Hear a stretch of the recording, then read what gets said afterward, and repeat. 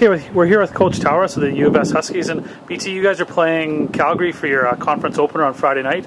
Um, what do you expect to see uh, from the dinosaurs or from the Dinos this year? Well, I think they got a great football team. Uh, we only got a chance to play them once last year, and uh, and uh, we were fortunate enough to score early. Uh, but they got a very good defense. they fly to the football, and we're going to have to be on on top of our game in order to come out on top.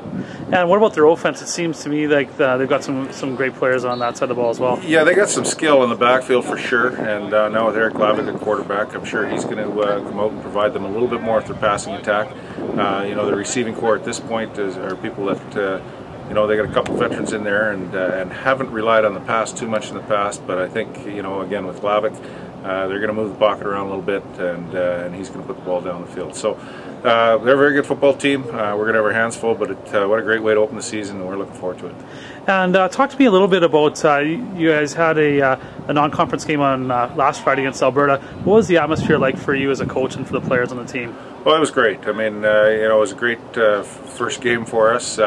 Yeah, we had a pretty good crowd, about 2,500 for preseason, which is uh, far better than a lot of teams get during the regular season. So uh, it was good. Uh, lots of fireworks, lots of fun, and uh, what a beautiful night. Uh, uh, the, the stands were, people in the stands were having a riot. They were bouncing up and down lots of beer flowing, and it was uh, it was a good night.